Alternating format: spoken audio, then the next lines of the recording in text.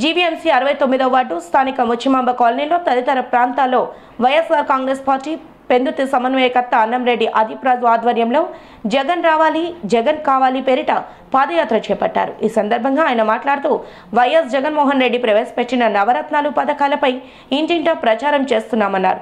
నాలుగున్నరేళ్ళ TDP పాలనలో ప్రజలను ఎలా మోసం చేశారు ప్రభుత్వ వైఫల్యాలను ఎండగట్టారు ఈ కార్యక్రమంలో ఆదిరెడ్డి మురళి దాసరి కనకరాజు నాగేశ్వరరావు తదితరులు పాల్గొన్నారు.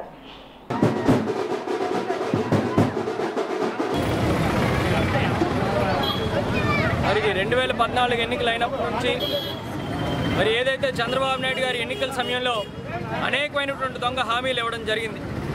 వాళ్ళు డ్వాక్రా రుణమాఫీ కానివ్వండి రైతు రుణమాఫీ కానివ్వండి ఇంటికొక ఉద్యోగం అని లేదంటే నిరుద్యోగ వృత్తి అని ఇలా అనేకమైనటువంటి అబద్ధ హామీలను ఇచ్చి వాళ్ళ అధికారంలోకి రావడం జరిగింది.